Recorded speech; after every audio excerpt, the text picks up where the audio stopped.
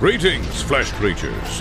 It is I, Megatron. On behalf of TFYLP, I want to congratulate you for listening to the most refined collective podcast on this miserable little planet Earth. Yes. Here you'll find knowledgeable fans discussing every aspect of Transformers and beyond. Now, enjoy the show while I continue my path to complete conquest of all of you miserable biological entities. Predacons, terrorize! Hello, welcome to TFYLP Microcasters. I've got the usual crew with me, uh, Christian and Anna. What up? Good evening. And I'm Lucas. Are you though? Uh, sure. I don't know. Paul is over here complaining that we hadn't started the show yet or something, uh, which I feel like is, is bad for him because that's somehow tomorrow night when Oof is going, he's gonna his computer's gonna crash right at eight thirty. He misses us. He wanted to see us. Mm-hmm. He said, "You guys are so cool. Miss you." Sure, that's what it is. It is. I brought a tailgate, Randall. Don't worry. Jeez, are we already getting accosted? We haven't even said like Happy New Year yet. Happy New Year. Yeah, guys. Happy New Year. Well, we said Happy Happy New New Year Year, yesterday on the regular show, Christian, which you weren't on. I was not invited to be on that show. I talked to our fans first this year. I just want you guys to know at book club, I was the Good. first one to speak to them. You guys were snoozing, as you like to say. Oh, So, well, I think Christian said that he loved Earthrise, so we didn't want to have him on the show. So, Yep, that's that's what it was. Christian definitely didn't say that. I don't No. misquote people. That's a crime in my field. he did, yeah, you was- were invited to book great. club, Christian. Cog is the best though. I will say that Cog is the absolute main hero of this entire thing. Did you watch He the show, Christian? No. Last night? Wait, you you should. last We, night? we ranted hard. Yeah, I've heard that I will go back and get it tomorrow probably while I'm working. Good, good. It was it was unhealthy entirely. Really? That show Great. was unhealthy entirely. oh. Yeah. But we're not here to talk about that show. You could watch that last, you know, what we thought about it uh, on TFRP. because our Uh, new friend night. is not from that show, Mr. Cyclonus. Cyclonus So- is a kingdom figure. Yeah, he is. It's our first Kingdom review, guys. First yeah, Kingdom review. It is Ringing not an the new animal. year. It's in fact an 80s character, not a Beast Wars character. Lilac Space Jet. Look at him. It's pretty, right? Lilac Space Jet. He is pretty. I still have his sister on my desk. I don't know what that means. His sister, see? That's his His sister. Sister. Oh, the other jet. okay. That's kind of like that makes him. sense. Got it. Excuse to show off KO garbage. If you were here in person, this thing is very spiky. I am not. You're like a thousand miles away from me. I know, boo. So Cyclonus this year. Let's start with the airplane.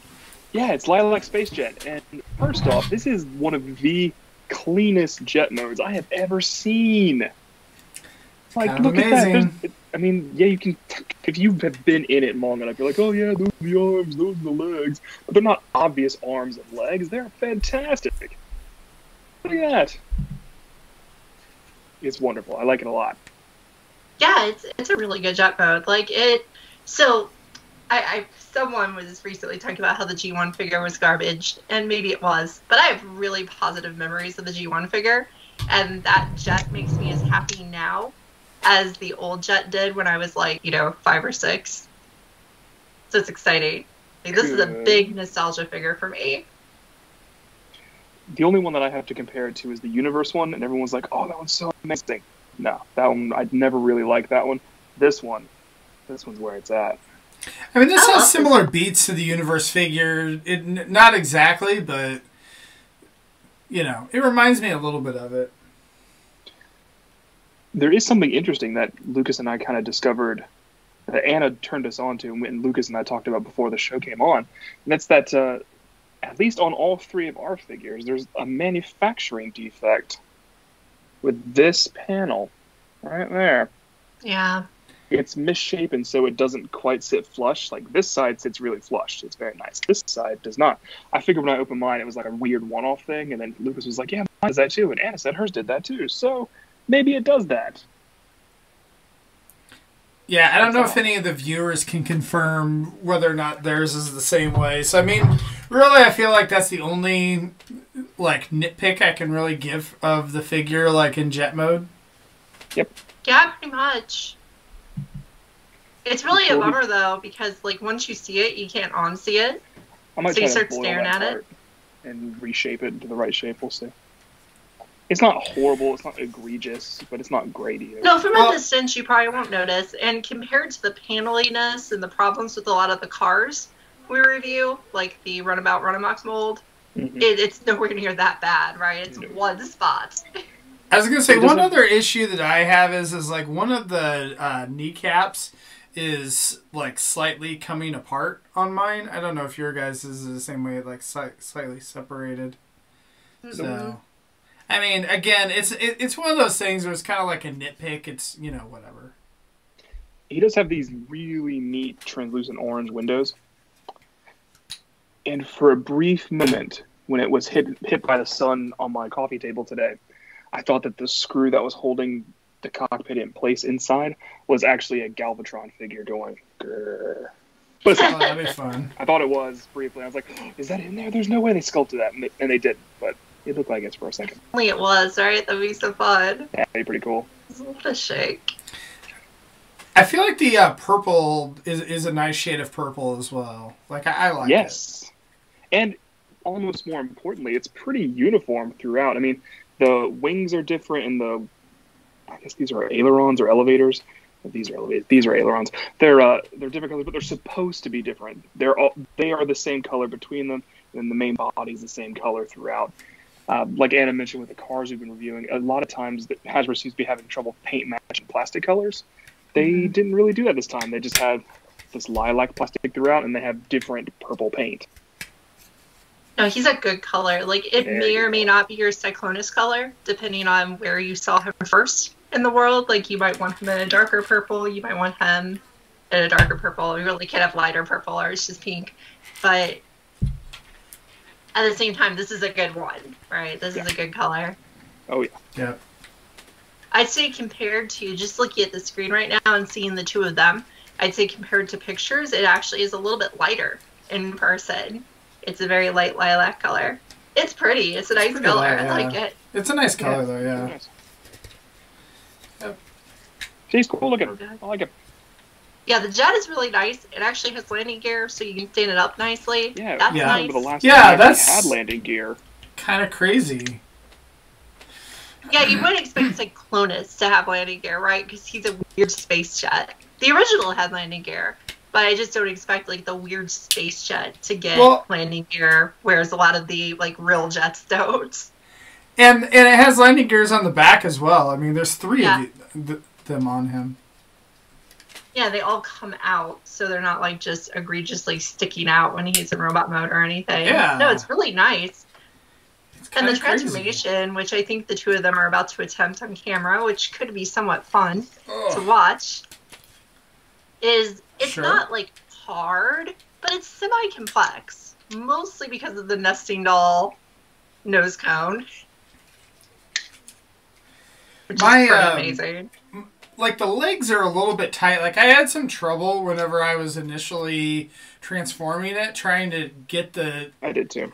because like whenever uh, when you transform the like legs, it like they kind of there's like a double joint in the knee, and um, anyway, I, I had trouble like the first time trying to get it. I don't know if you had any issues, Anna. Uh, it was a little tight. It wasn't bad, bad because I knew what I was supposed to do with it. Like that was kind of the cool thing about this is I do consider this a slightly more complex than average figure, but I didn't have to get out the instructions to make sure I didn't break it. It was intuitive, Mm. like Yes. for once. A part that I want to praise here is that it, it's got this. Uh, this is the back end of the vehicle mode. It's got uh, a part so you can put a blast effects look like it's actually flying off. Um, a lot of times, I feel like Hasbro in the past would have not included this extra part and just made his feet hang off the back and be the back of the vehicle mode, but instead the feet collapse and this covers the gap. I don't know. It's just a neat touch that I feel like five years ago we wouldn't have seen. Yeah, and vice versa. You get to tuck the foot away, or you tuck the thruster away. It's nice. It Randall says I clean. found the secret third mode. What's the what's the hidden third mode? Am I like the Gerwalk mode? Yeah, I think you had a bit of a Gerwalk mode going on. Yeah, there, there you go. Always important. Very unimportant. Please don't do it ever again. Every every airplane needs legs and arms. No. There's my there's So- my hot take for the evening. Thank you. We really appreciate it. We needed it. so I'd say the coolest thing about the transformation on this toy is be- that that nose cone, like you can notice on mine, none of that nose cone is present, like anywhere on this figure, because it's all tucked away inside of his chest. It nests three or four times in order to do that. Yeah, it's kind of pretty it's kind of crazy that it just like yeah, like you were saying, and it keeps nesting and nesting and nesting. Yeah, it's nice. Because like every time I thought I was done, I was like, no, it's not quite a, at a oh, point yeah. yet. It wants more. It was just fun. This was well done. Like the arms transform more or less exactly like every Cyclonus's arms, right? Like that's not wild. Yeah. The legs are good, like we said. They're pretty. They're pretty typical, but they're still really good. And yeah, that's don't pretty much how it. to nest. I think the thing about this figure is is just like the quality overall of it.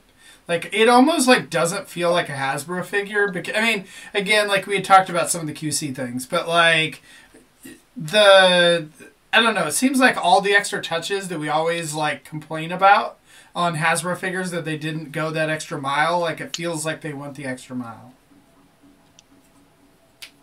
Yeah, pretty much. And I wanted to point out while they're transforming, I'll do some nice comparisons for us because I got nothing better to do with my world. Um, I've still got Double Dealer on my desk from when we were talking about Earthrise. Um, he's, you know, almost as big, tall wise, as Double Dealer. He's obviously not as girthy as the bigger dude. But he's a pretty good sized Voyager, Cyclonus says. Oh, Paul says there's nothing more exciting than watching three Transformers fans transforming at the same time. They To be only fair, get to Anna's watch not two, doing that. Paul, because I'm not transforming nothing. Mine's done. I I'm was so saying fast. we were uh, we we normally don't like to transform things on air, so there you go. That's why.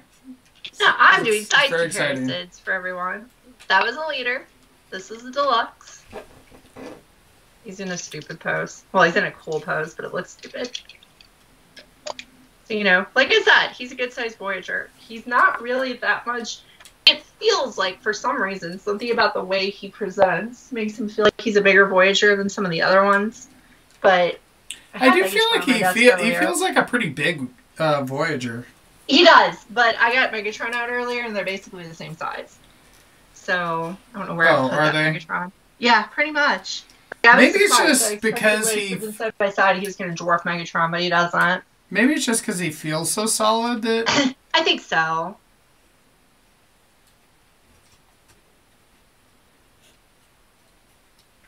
I did it.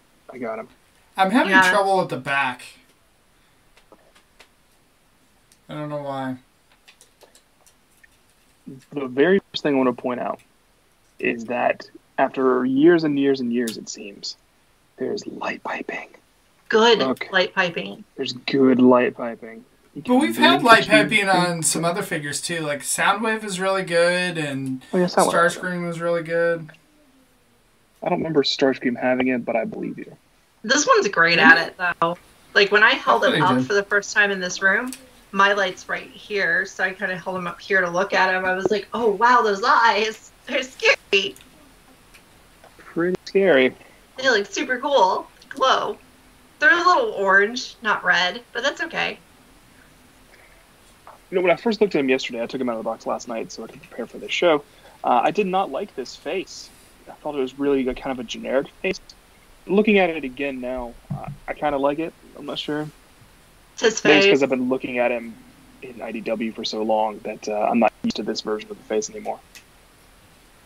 Yeah, like a lot of the, you know, we're we're on the cusp of getting to review Studio Series 86 soon, and like a lot of those faces, they're very like plain, expressionless, long versions of those characters' faces, and I think he fits that bill exactly. It's just the heads came out good looking.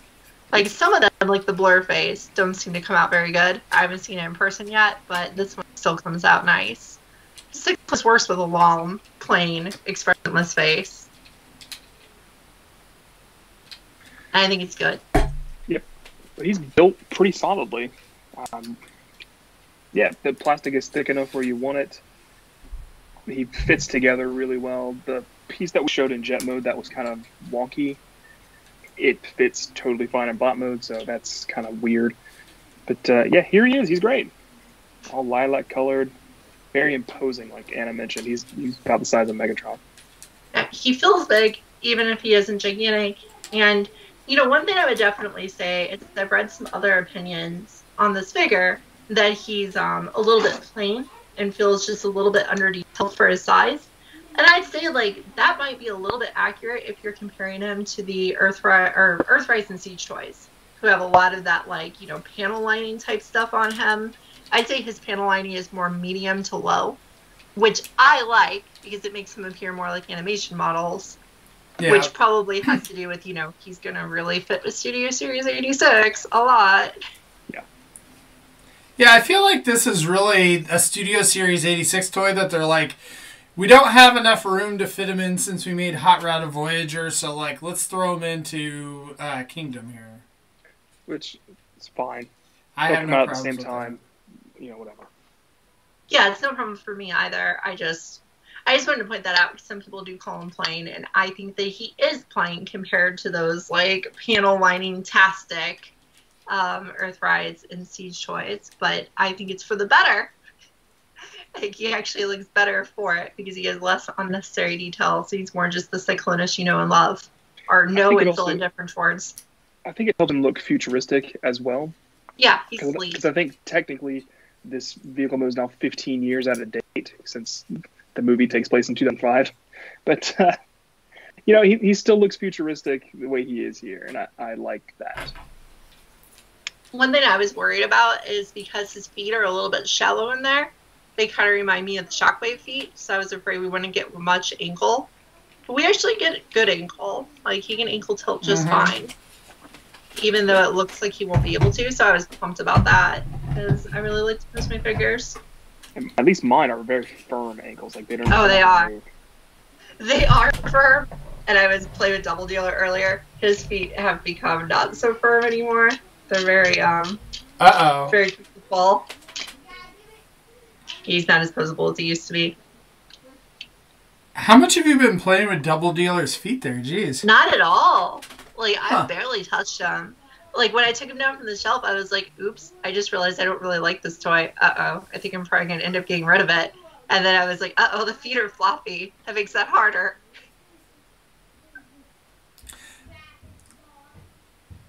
I don't know. I don't know that it really matters that much. No, it's not a big deal.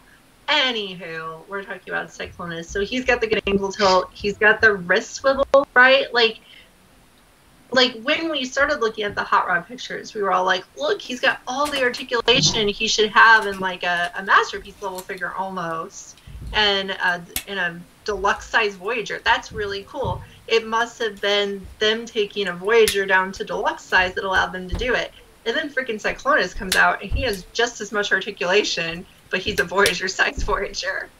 So he's like, take that hot rod. I'm just as good as you, but I'm bigger.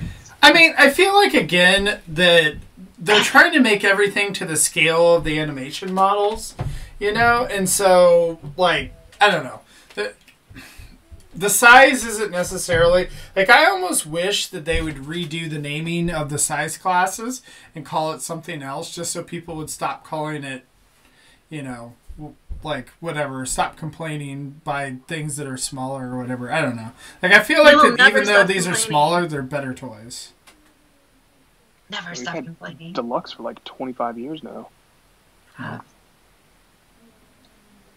And he has good shoulders too. Like the way his shoulders are engineered, even though he has a little bit of um, shoulder pad going on, he actually gets full movement all the way up. So, I mean, my shoulders go up further, but his don't need to. They're good. A good arm movement. I mean, obviously the wings give a little bit of kibble, but that's, you know, Cyclonus has always had his little fairy wing on his back, so they're there. The only other thing I could have wanted to come with the set is a nightstick. Yeah. Although, if you look at the rest of uh, Studio Series 86 and, and the other Target Master characters like Kup, Hot Rod, Blurr, and Scourge, none of them come with Target Masters either. And I'm sort of thinking that they'll all appear in like a box set that Amazon or Pulse or something, That would Like be a- nice. a Battle Master six pack or whatever, and there they all are. Boom. Even if they just took the Battle Masters from Siege and painted them nice, like Mm-hmm. actually put them up to like Studio Series 86 level paint, I would be very happy with that. So like agree. Target Masters. I So Christian, what they're gonna do and his buddy. is, is they're gonna put them in like a fifty dollar pack with a figure that's a, like a repaint of something you don't need, so that you have to buy it. You know, I think if they put six of them together at like 30, they could do it. Or they could do like two of the um, the Centurion weapon packs and do like three Battle Masters and a Deluxe in one, three Battle Masters and a Deluxe in the other, and include some other stuff like Jazz's uh, grapple reel, you know, something, you know, parts like that that you would want. I guess he looks alright with the Generations one. I hadn't really put it in his hand yet, but it's okay. That is kind of nice, actually. That works. I, I was expecting it to look bad, but it doesn't. Yeah, you know, they've used that one individually a bunch of times. Throw that one in again. Who cares? Yeah, sure. He's got a nice big gun. I honestly don't remember if this looks like his G1 gun or not because I lost that probably like a day after I got him as a child. The paint on this feels very powdery. Does it feel powdery to you guys? On the gun? Yeah. Yeah. Okay, cool. Yeah. I like how don't it looks. It works with this lilac wall. Yeah, it, it does. It just it feels like I could just take my fingernail and scratch it all off. You might I'm be able gonna. to. Don't find out. It just it feels not quite right. Yeah, Josh says that neither one of his panels will tab in all the way, and I felt like that. Like the first time that I transformed mine, I felt like that, and it seemed like the the one kind of like worked its way in. You know, like the longer I had it in jet mode and kind of fiddled with it, but the other one is definitely like mistransform or whatever, misshapen. Mine's the same as Joshua's. Neither one went in correctly in jet mode. Maybe once I work it out. You know, I've only transformed it the once. Maybe it'll get better. Who knows? But Yeah, like, maybe I it's think got something to do with the paint because those are painted pieces as opposed to uh, just molded pieces. That's one of two It could be. complaints I have with this figure. And I have to say, like, you know, usually I have a lot more than two complaints about any figure. I really love this thing. Like, this has been one of like my favorite toys I've opened in quite a while. Just because nostalgia. I got a little bit of nostalgia goggles just because I was a child when I had the original Cyclonus and I loved him. I thought he was a cool toy and I destroyed him utterly. I still like up until the time I moved out of my mother's house, I was finding random his arms and feet and like half his head in random boxes. So I play with my toys. They're fun. The I don't know. I, I feel like this figure is is um, similar to like the Optimus Prime, you know, where there's probably other like third party ones that I've gotten where I kind of like the looks of and whatnot, but like overall as like a total package, like it just it feels really solid and it's fun to you know mess with and flip back and forth and pose and and all It that is. kind of thing. So it's just it kind of just hits all the right you know notes or whatnot. And I know Anna, you had mentioned before that uh, you had the Magic Square version, and I think it's like one of the first times that you just like threw it directly in your sell pile after Yeah. messing with this. I didn't really have to think about it because the the Magic Square one has quite a few problems. Like it has a really odd face. The whole thing is strangely two tone, and I was just like, well, this doesn't have any of those problems, so that one just and went away. Even though it's a good figure, like I just only need one of any given character, so get rid of it. Well, I'm getting rid of it in the future sometime. The only other complaint, quote unquote, I would have about this figure is the one we all knew about, and that's the knees. The knees are, they can look really bad. You know, if you extend his leg all the way and you view him from the side, it looks bad, right? That looks weirdly gappy. You can see the hole into it. But there are ways to fix it. Like in every pose, you can get his knee, since it's double jointed, to fold in. You can get it in a way that, you know, it doesn't really show the gap. So you just have to kind of work with it and be patient. And even when you pose it, you can still do that. And it actually looks better pose like that because you can just push it in and then, you know, the knee's bent and it's fine. It's just you can't just pull it all the way out and just leave it where it sits and it'll look good. You have to work with it a little. But that's not so bad, right? Because he gets a lot of posability from it. You know, I think I'm going to disagree with you just slightly on that one. I feel like I need to pull the knees all the way out the way I have it, you know, the, the fully extended way where it has knee gaps, in order for it to look proportional.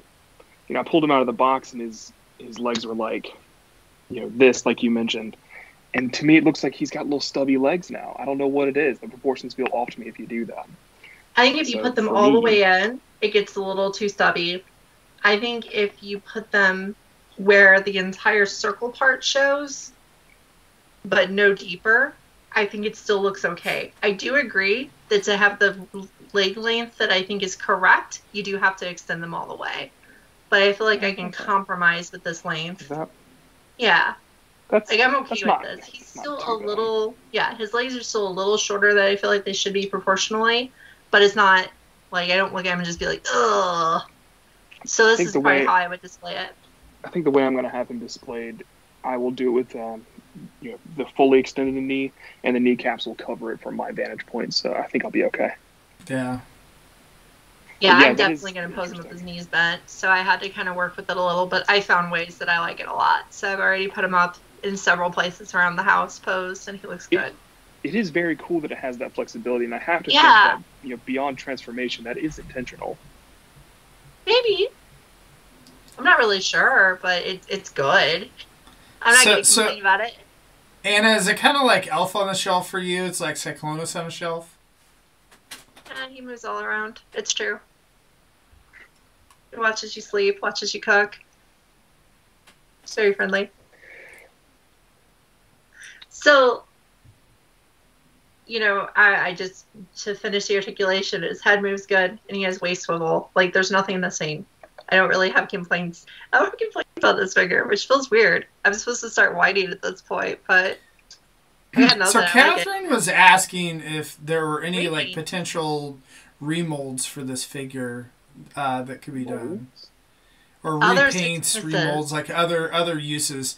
Um, I really hope that since there's not a lot of uses for the mold, that they do an IDW uh, Cyclonus because, like, I have the MMC one, and I'm not a huge fan of that figure. Like, it's fine, but it could have been better or whatever. So I'd like. I don't know. I almost kind of feel like this, if you did it right, could actually look better than that. Yep, and I think Shattered Glass will come eventually. Oh. if that I line should glass well. too. Yeah. This thing will look hot in hot rod colors. It will. It looks super cool. Yeah, so you could. I think he looks okay with the um. Who made this tailgate? I don't even remember. Make toys. Make toys, yeah. Um, that's why I never transform it.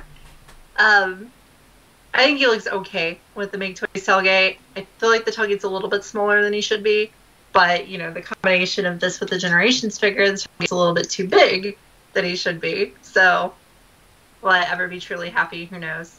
But they're okay. So I, I think was it fits. redone- I think the scale looks good to me. I think if this was redone as a IDW style Cyclonus, these two would look fine together. Like obviously these two characters have never met each other because this is a different Cyclonus. But you know, if you got the IDW version, they would be cool together. Yep. And I think there would be room, at least in my collection, for both. Yeah, for sure. And Shattered Glass. It's a really good toy. I don't know if I have to have shattered Glass, but that's pretty though. Yeah. But yeah, I, I feel like in general this figure, like when you took it out of the box, you're like, wow, this seems like a step up from what we've been getting. You know, like I don't know, it just feels like like it feels like the in I haven't weighed it, but it, it feels more solid and weighty than you know some of the other stuff that we've gotten. So it's it's definitely a really nice figure. I think it uses the mass it has well. I don't think it's a particularly heavy or weighty figure, but I think it actually uses the mass well. So therefore, it comes out really nice. And I have to say, like when I saw pictures of this toy, I thought like this reminds me of the G1 figure, but it's too blocky, and I'm gonna hate it. And then when I got it, I was finally like, oh wow, I don't hate this at all. This is amazing. Yep. So if good. you thought it looked too blocky in pictures, you'll probably feel differently when you hold it. Just you were like me on that one. It's pretty and it works well. Good Cyclonus. I think that's a high recommend from all of us. Yeah, for sure. Yeah. Go get him. You're not gonna feel like he's too small. You're not gonna feel like he's too simple. You're not gonna feel like he's ugly. He's cool. Um, I was going to mention tomorrow night, uh, Oof My Wallet um, is going to be on the YouTube channels at 9.30 Eastern, 8.30 Central. So come check that out. Um, and uh, we did TFYLP last night, as we mentioned before. We talked about the Earthrise figures, or I'm sorry, Earthrise Netflix show. If you want to get our thoughts on that. Um, hopefully, Cut the Tape will be back this week. We'll see. Um, yeah, thank you to uh, you guys and everyone to the chat. Oh, and then book club. Forgot to mention that on the audio last night. Uh, book club, Robots in Disguise, issues twelve through fourteen.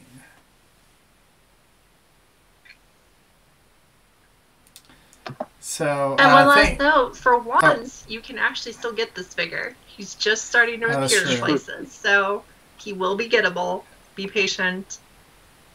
He'll come back. yeah, around. luckily, wave one, you should be able to get most of that stuff. And we all got ours from GameStop, right? So that's why we ended up getting it pretty early. But he'll be trickling out over time. So, yeah. All right. Well, thank you, everyone. And we will see you next week. Night. Bye.